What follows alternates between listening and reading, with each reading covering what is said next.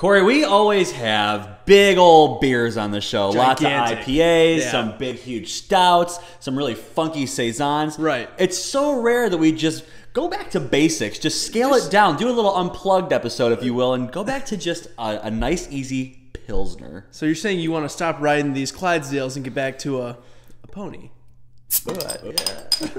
Glub glub glub glub glub glub glub glub glub glub glub.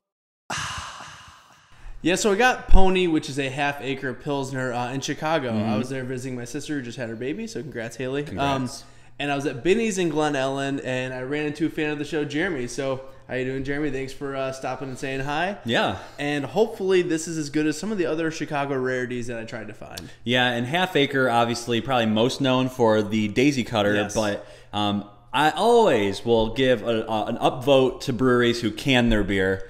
Big fan of the cans. Plus, their designs are always really cool. Right, right. And you know, back to the beer, I just I'm really into pilsners. I- You, I think, I think you've done the. I've gone to the edge. Mm-hmm. Now I want to try the softer. Try and get those subtle flavors out of some of the beers, and Pilsner's definitely that. It's one of my new favorite styles. So let's let's go ahead and take a, a whiff.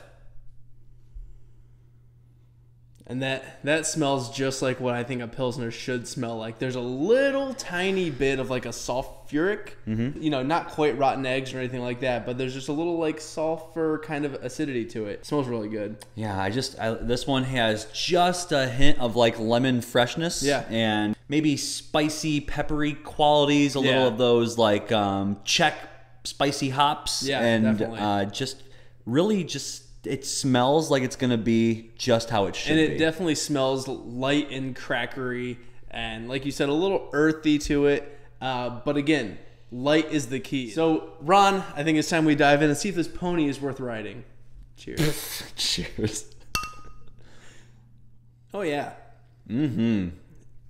It's great. Oh yeah, That's that's, pilsner. To like a a, a nice a nice German style pilsner right there. I like it. very very wheat thin Triscuit cracker bready Yeah. flavors. Yeah. love it. There's a there's a slight bitterness in the back that kind of lingers a little bit, but again, not to even like the pale ale style, Mm-hmm. like just a slight. And the aftertaste has this cool bready, like bread crust flavor. That's Yeah. really really nice. Yeah, there's you know there's there's Triscuits out there that when, when you're chewing on them, they've got just a little bit of a bite to them. Not spicy, but just like I don't know that that bread or maybe it's rye, but there's just a little spicy note to it that I get with this. And you know I'm not sure which hops they used in Pony here, but it Yeah. could be like the Saaz hop or something Yeah. like that. Those hops, Holler im- Tower or something yeah, like that. those always impart just a little bit of of kick. So.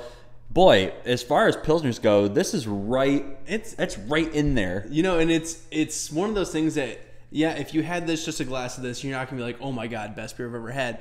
But for the style and for what they're going for, this is done really, really well. Yeah. uh, and I think it's it's again going right into what you want with a nice light, laid back pils. Oh man, that lingering aftertaste is just the bomb.com. I mean, it's just really, really smooth.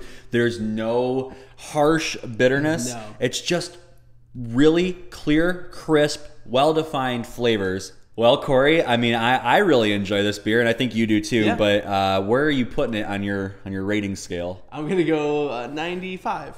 Okay. I think it's a very, very good beer. I don't see any off flavors. I don't see anything wrong with it. I don't see any uh, need to improve a lot. I mean, subtleties here and there, but overall, really delicious, easy drinking beer. compared to the other things we've given hundreds to, they're so extreme. It's hard to land on something that's not like blowing your face off on a on a 100. ya, But I hear ya. I'm gonna probably go 97. I mean, I don't I don't know what else they could do to it. It's it's as good as a pilsner can be in my in my estimation. You know what, Ron? If you think it's as good, give it your hundred. Should I? hey, stylistically, what's wrong with it? I can't find anything. You're right.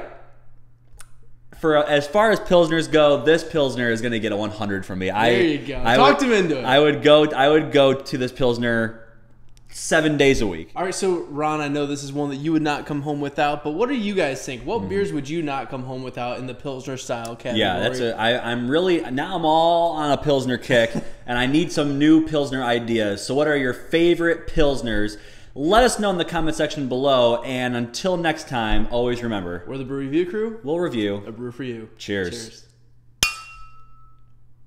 We're gonna stick to a schedule here, all right? Yeah, it's, yeah. it's gonna happen. Yeah. So Mondays and Wednesdays we are gonna do our videos, and Fridays our podcast. Ron, what was that? Mondays and Wednesdays for video, Friday for our brand new podcast. If you haven't checked it out yet, go to brewreviewcrew.com backslash iTunes and subscribe and leave a five star review if you like it. That really helps out the show on the charts and rankings, and we definitely appreciate it. So Monday, Wednesday, Friday, see you there, same time, same place. Cheers.